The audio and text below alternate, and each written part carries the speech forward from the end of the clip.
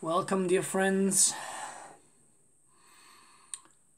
Let me offer my humble obeisances time and again unto my spiritual master and unto Sri Gaurachandra, Srimati Radhika, her associates, and her holy abode Sri Vrindavan, and unto Sri Krishna, his devotees, and the devotees of his devotees. May they bless us with the most sublime understanding for of supreme love, of pure divine love for the benefit of all. So, as you have seen from the title, I'm going to speak on something very different today that I don't usually speak about. But uh, there is so much um, information circulated about threats, about apocalypse, about globalism, and so forth. And much of it may be true.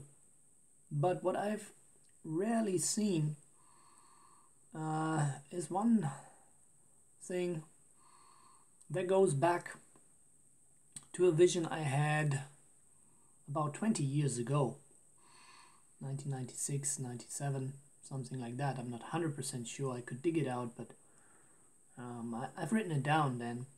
So but then, um, when I came to know about uh, geoengineering, chemtrails, uh, and um, the metallurgic particles, aluminium, barium, strontium, and other stuff that they are spraying into our atmosphere, then combine that information with uh, the frequency modulating um, devices like HAARP and many others that we have on the planet, how they are trying to control the planet's uh, weather uh, for different uh, purposes, uh, also military purposes, and it's very complicated. And it's a time ago, a while ago, since I watched all these things, so I don't have all the terms at hand. But that doesn't matter really. But if you have that knowledge, and then you see how much radiation is actually going on. And you have all these mobile towers and all the buildings, and then you have on top of it, you have wireless uh, devices in almost every household. I mean, the radiation is enormous. So, so you know that um, it's all energy. So the whole atmosphere is so so charged with different frequencies. And now if you bring all these particles in, and then you combine it with my vision that I had, then suddenly there comes an idea that is hardly discussed. In fact, please tell me if you ever find any reference to what I'm going to tell you now. But um, yeah, I'm really wondering. So, what I saw in that vision. And at that time, I didn't have hardly any knowledge about it, and I couldn't make really sense of it. In that vision, uh, I saw how the Earth's atmosphere um, formed into one huge cloud, which was thickening and thickening, and it was becoming darker and darker. I was like, wow, that's that's pretty scary. It was covering the whole planet basically. And at one point, it began to surcharge, charging up, charging up, and slowly beginning to glow. And then,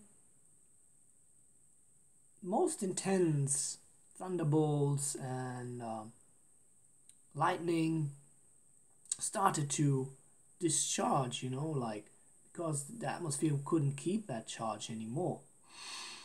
And from that, um, earthquakes, volcano eruptions, and a big upheaval, um, which was killing at least 90% of the population.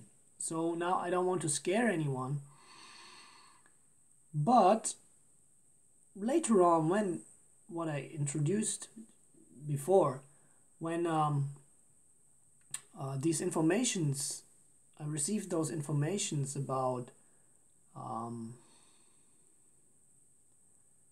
geoengineering and all the things that are going on and all the wireless communication, etc. Now think even all the apps that people have on their mobile phones they're automatically updating usually. I mean, I switch that off, but I don't know about, you know, like who is doing that. Most of the people, they're just like sheep and, and it's all going automatically. And they're streaming and they're watching and it's all flat rates. And so there is such an enormous stream. And with our money, they're building more and more of these towers. They want to put uh, out wi- uh, Wi-Fi for whole cities, etc. So, now if you have that combination and combine it with the vision that I had, now think, couldn't it be possible if all these devices, by some supposed error or mm,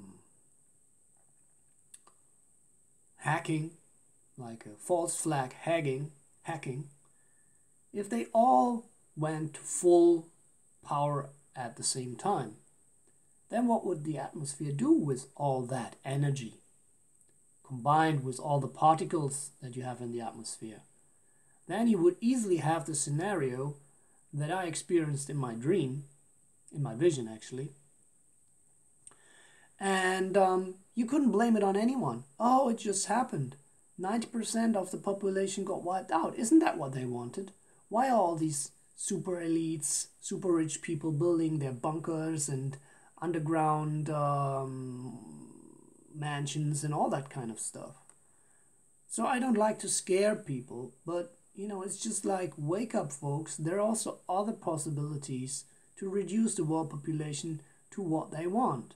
I mean, that's you know, you, you can investigate into the the claims that they want maximum population of 500 million. So if we're having 6 billion people now, that will be quite feasible. And no one could blame them, you know. It's the people themselves who used that technology and uh, somehow then some error happened or it was hijacked, it was hacked, whatever. And uh, who can tell, you know, once it happens. So I'm just uh, cautioning you, and also for your own health and safety, don't have the streaming on all the time.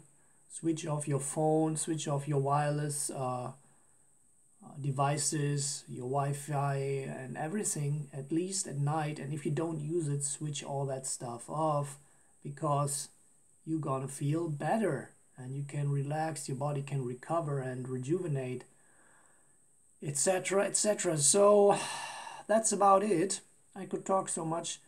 Um, there's also some pretty interesting stuff about a uh, false flag invasion of aliens which uh, might be uh, planned uh, that you might want to investigate uh, dr steven greer is pretty interesting on that subject matter and um, also uh, question what actually even uh, a potentially mm, well-meaning president, even of the mightiest country, let's say United States, um, might have. Um, what chances does he really have to uh, change uh, things if they're like, let's say, as I have heard, 21 levels of security above the president? Just let that sink in. Etc etc There's also another channel.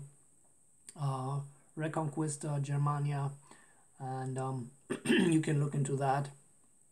The whole uh, liberalism on on uh, the dangers of Islam and so many things going on. Uh, we may be spiritualists, we may be integralist, we may be uh, all for love is the only answer, but still, we should at least be somewhat informed and not just uh, put our hand uh, head into the sand and pretend not to hear, not to see. Uh, and well, if it really heats up, maybe we want to leave the cities. And um, yeah, just some thoughts, and I'm looking forward to your comments and. Um, stay awake, stay loving, uh, find the compassion inside, and uh, be self reliant, be guided from within, May the divine show us the way to love and peace. Thanks for watching. Jai Radhe.